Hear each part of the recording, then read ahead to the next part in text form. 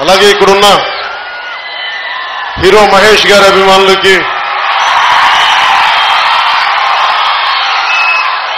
Junior junior NTR గారి అభిమానులకి బాలకృష్ణ గారి అభిమానులకి ప్రభాస్ గారి అభిమానులకి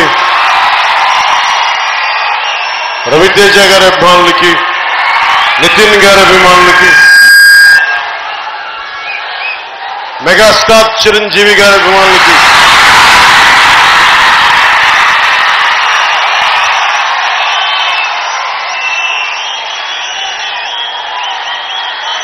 గుర్రం మీద దౌడు చేసి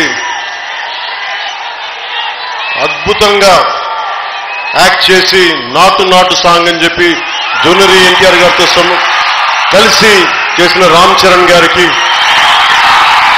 అభిమానులకి చిత్ర పరిశ్రమలోని అందరి హీరోలు అభిమానులకి ప్రత్యేకించి నా హృదయపూర్వక నమస్కారం. నేను మీకు ఎందుకు చిత్ర పరిశ్రమ గురించి మాట్లాడుతున్నా అంటే మనకి ఆనందాన్ని కలిగించేది. ప్రతి ఒక్క హీరో ఆనందాన్ని కలిగిస్తారు. కష్టపడతారు. పది మందికి వారు కష్టపడితే ప్రతి సినిమాకి రెండు వందల మంది మూడు వందల మంది రోజుకి పనిచేస్తారు తక్కువలో తక్కువ.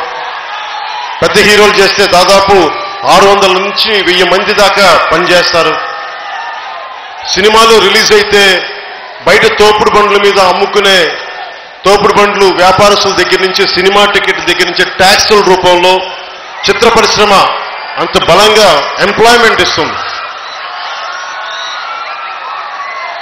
ట్యాక్సులు కడతారు జీఎస్టీ కడతారు.